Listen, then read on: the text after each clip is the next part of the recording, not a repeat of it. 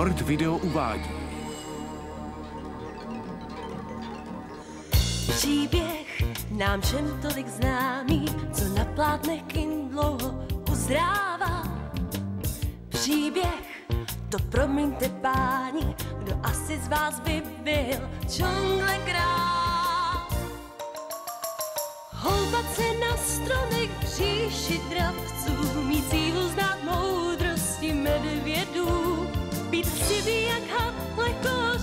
se snad, a pak, když přijde noc, přespat v úkrytu lvů. Příběh o přátelství zvláštní, upřímné lásky, jak by ne, když ze všech těch zvířat, které v džungli poznáš, své přátelé máš, tak utíkej, s nimi klidně dál. Vždy ty jsi džungle král. Tak každičký den, každý den užívej, když tolik přátel máš.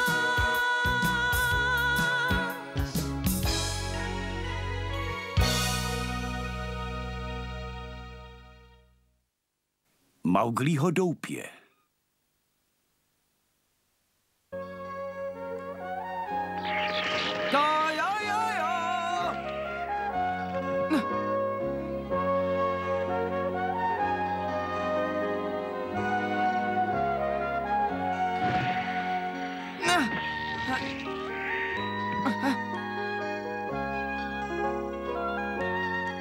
To pravé místo. Tady je spousta dřeva.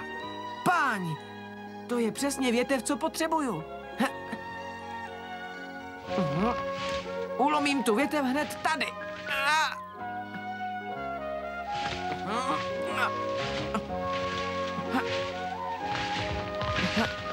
Povol, ty potvora!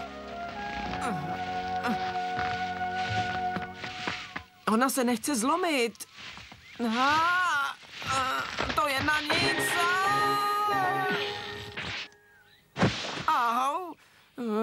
moje záda. Pro pána Mauglí, co to máš vůbec za lubem? No, já, já tu větev ulomil správně, ale pak jsem spadl i s ní. Ano, to jsem si všimnul. A co tě to posedlo, že si tu větev vlastně chtěl ulomit, Mauglí? Ah, moje větev. Udělám si z ní nový tesák. Nový tesák? Ano, starý jsem ztratil při svém posledním dobrodružství.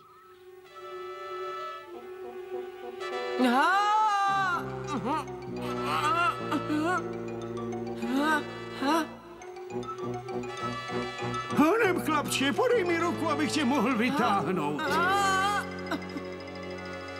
A ten starý jsi udělal sám? Mhm.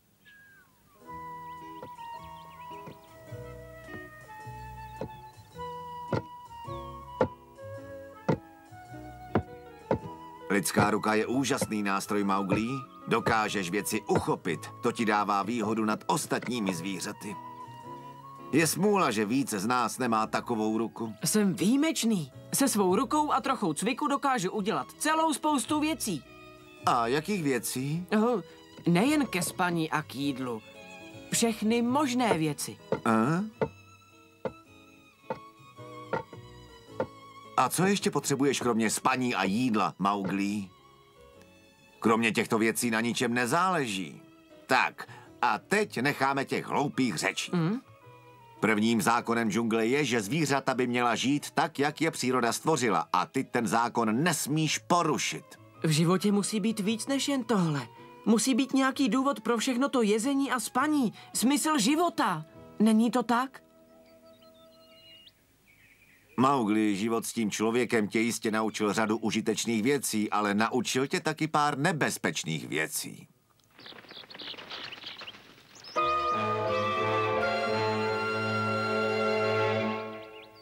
Co tady děláš, Lalo? Co pak chceš? Dívala se na mě. Doufám, že se nic nestalo. Nestalo? To určitě ne, Mauglí. Já ti nerozumím. Co pak jsi nevšiml, že tě Lala poslední dobou všude sleduje? Mhm. Sleduje mě? Hledá příležitost, jak si s tebou promluvit, Mauglí. Myslím, že se do tebe pořádně zakoukala. Cože? Zakoukala se do mě? Lala mě nemůže ani vystát, Bagíro. To se pleteš. Viděl jsem, jak se na tebe dívala. Možná, že dřív byla nepřátelská, ale teď je její pohled plný obdivu. Ale to není možné. Lala? Vím, že se ti to zdá divné, Mowgli, ale mám pravdu. Hm? Schromáždění.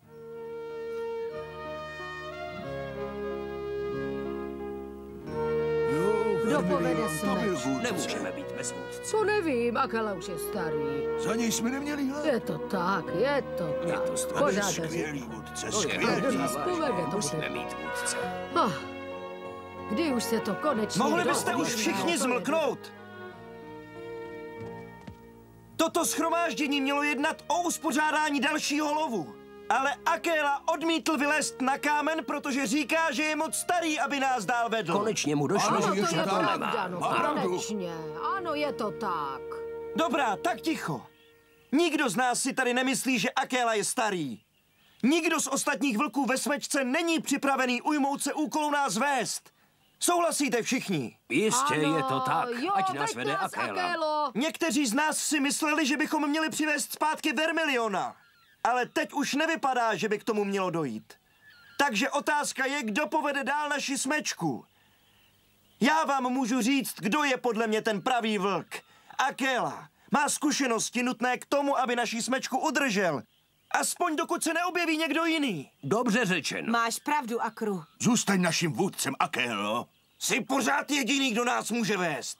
Neopouštěj nás, Akelo. Nevidíš, že tě potřebujeme? Bez tvého vedení to nepůjde.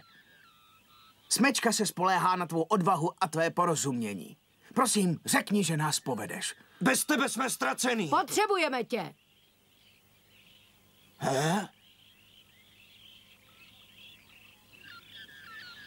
Hurá!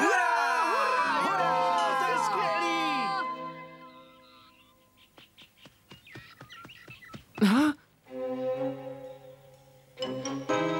Ahoj, Lalo. Ty cítíš se dobře? Lalo, řekni něco. No, já... Já myslím, že ti dlužím omluvu, Mowgli. Co, omluvu? Je mi líto, že jsem ti říkala ty ošklivé věci. Bylo špatné říct ti, že tě smečka už dál nechce. To je v pořádku. Já... Já byla rozlobená a mýlila jsem se v tobě, Mowgli. Prosím, odpust mi to. No, to je všechno, co jsem ti chtěla říct. Hm, hej, Lalo, počkej. Fiu.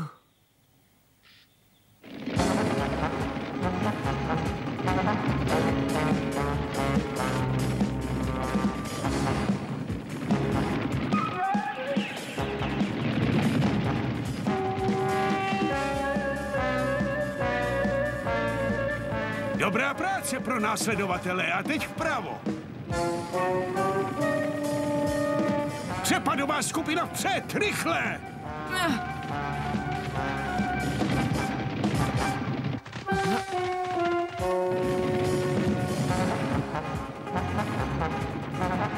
Do útoku!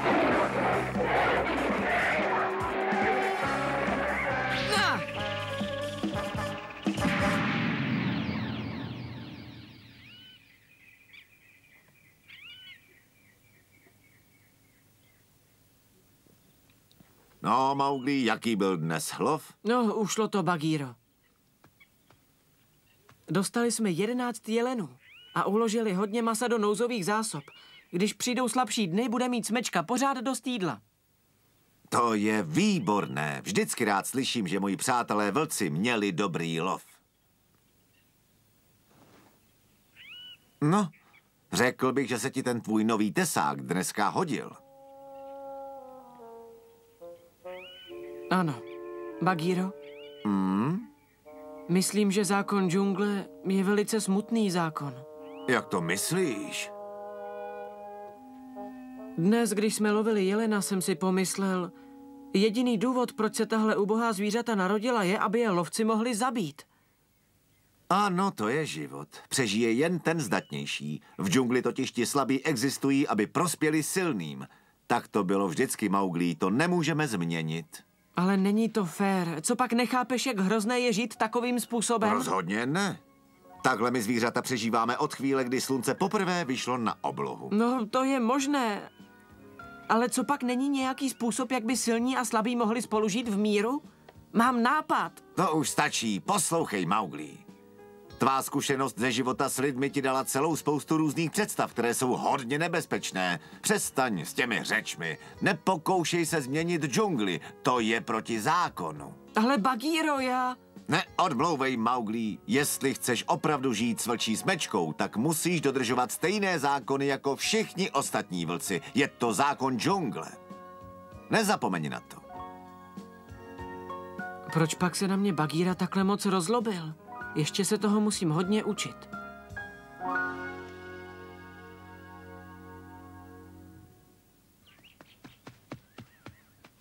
Mami? No, ne, co to?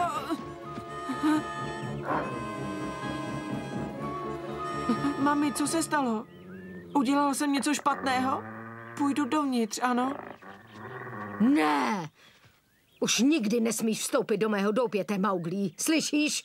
Musíš si najít vlastní doupě. Ale proč? Proč musí mít? Už bys to měl vědět. Ale mami, co se stalo?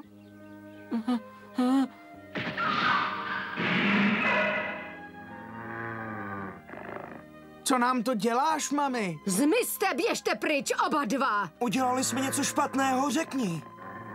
A Mami, co se děje? Ty se do toho nepleť, Mauglí. Tak běžte vy dva. Je čas, abyste si oba dva našli vlastní doupě. Ale mami, Řekla jsem, nepleť se do toho. Běžte, běžte, oba dva. Už rozumím. Nestůjte tady, musíte pryč. poběž, Suro. já tomu nerozumím, mami. Proč si je vyhnala pryč? Protože už jsou dospělí, je čas, aby odešli. Když jsou dospělí, tak nemůžou zůstat? To už dál nepatří k rodině? Zákon říká, že musí jít.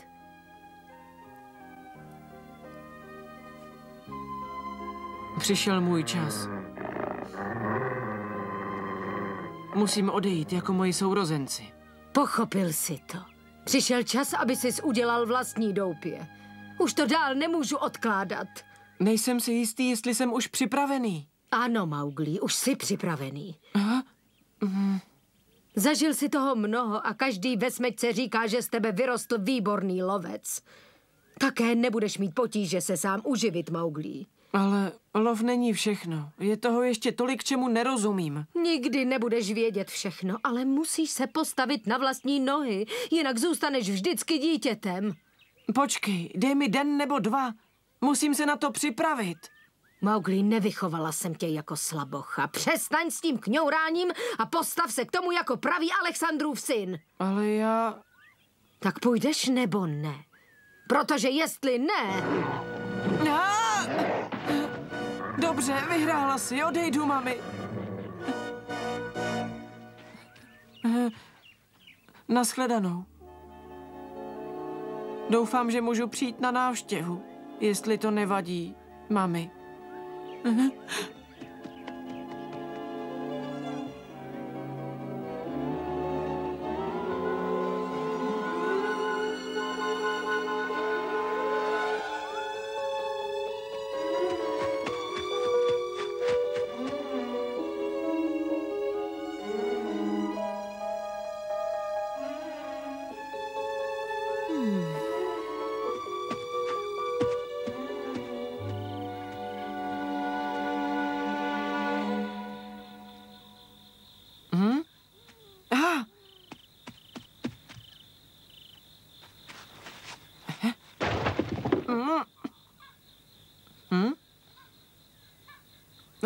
To bude asi vaše doupě.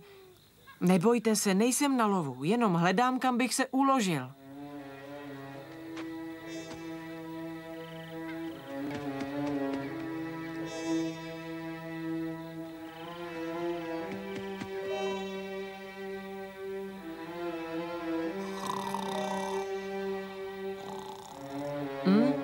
No, tak tady teda moc místa nezbylo. Na stromě spát nemůžu, nejspíš bych spadl dolů.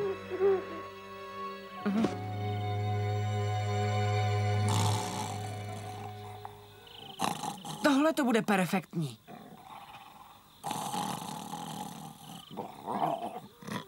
No, možná ne úplně perfektní.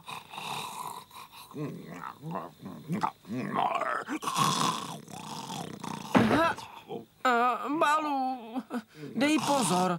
Mohl bys taky třeba někomu ublížit.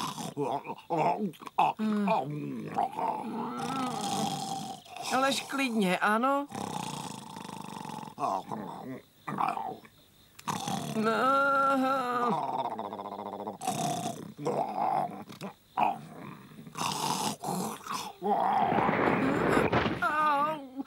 S ním vedle se rozhodně nikdy nevyspím.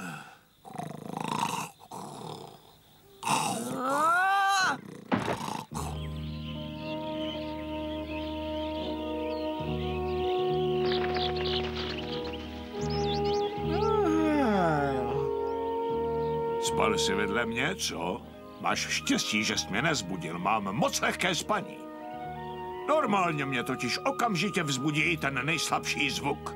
Při tom tvém chrápání bys teda neslyšel ani útočícího bůvola. Jakém chrápání? Ano, jakém chrápání. Zdravím vás. Ahoj, Bagíro, ahoj, Kiči. Dobré jitro. Bagíro, neuvěříš tomu, co se přihodilo. Čemu neuvěřím? Lury řekla Mauglímu, aby si našel doupě. Konečně. No, je to pravda? Mhm. Výborně.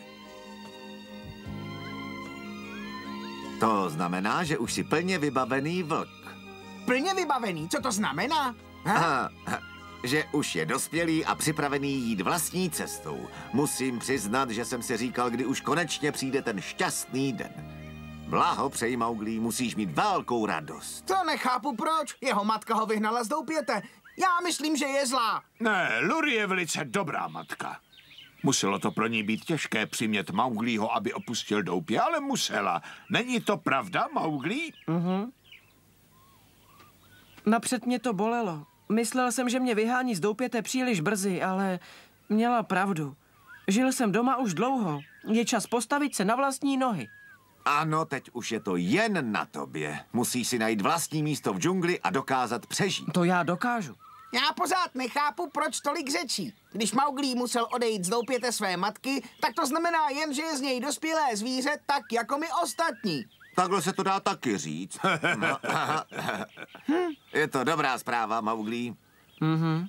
Mimochodem, Mauglí, pokud ještě pořád hledáš doupě, si víc než vítaný v tom mém. Ne, tvoje doupě je moc malé. Mé doupě je pravé místo pro tebe, Mauglí. Děkuji vám oběma za štědrou nabídku, ale Bagírovo doupě není dost velké pro dva a vedle balu, abych se nikdy nevyspal, takže jsem se rozhodl, že si prostě postavím svoje vlastní doupě.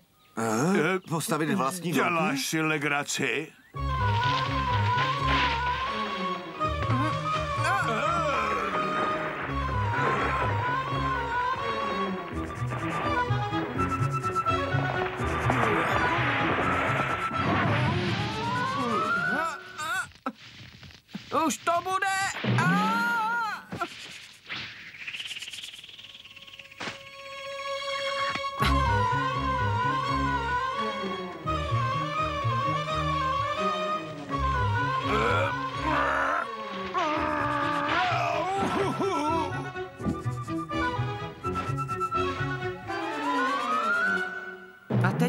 Podrž prosím pevně tuhle kládu. To jsou věci, Mauglí, a pořád nechápu, jak můžeš postavit doupě.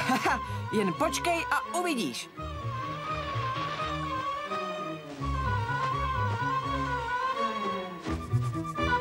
A je to hotové.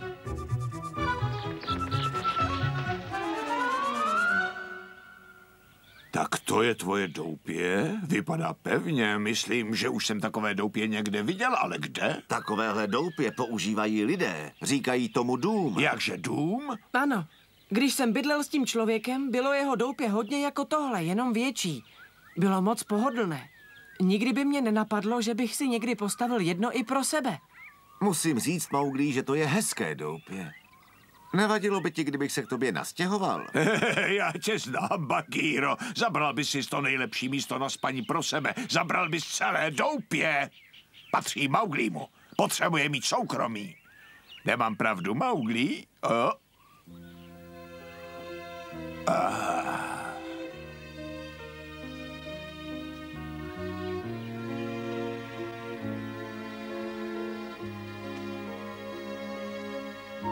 Nazdárek, Lala. Prý si odešel z Luři na doupěte. Teď tedy žiješ sám, že ano? Ano, mhm. Tak hodně štěstí. moc ti děkuju. Pro pána, Lala se nám pěkně proměnila. Dá se to tak říct.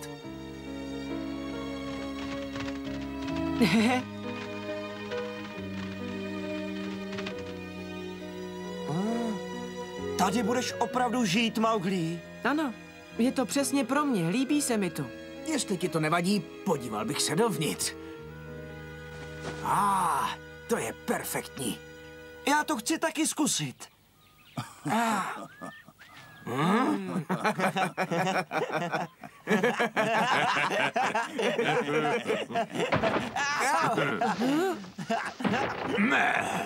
Buďte opatrní, kamarádi. Tohle doupě mi dala hodně práce postavit. Jen se neboj, Mowgli, my dáme pozor.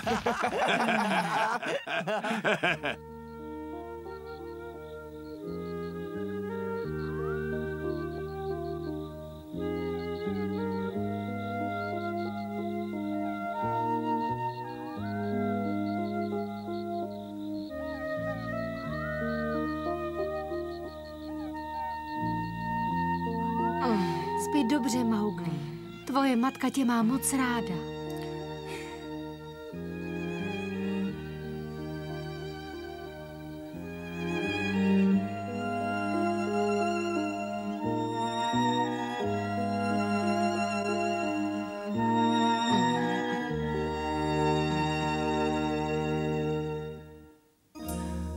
Na českém znění spolupracovali Petr Neskusil, Filip Švarc, Zdeněk Mahdal, Vojtěch Hájek, Nikola Votočková, Jaromír Meduna, Bedřich Šetena, Ludvík Král, Regina Řandová, Martin Zahálka, Martin Bust, Jaroslav Novák, Leoš Lanči a Martin Kot.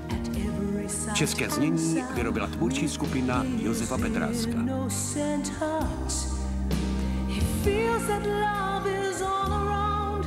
But this world can be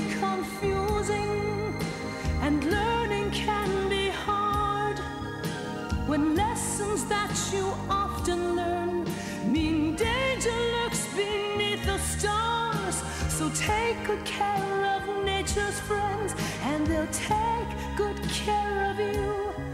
Then we can all live together.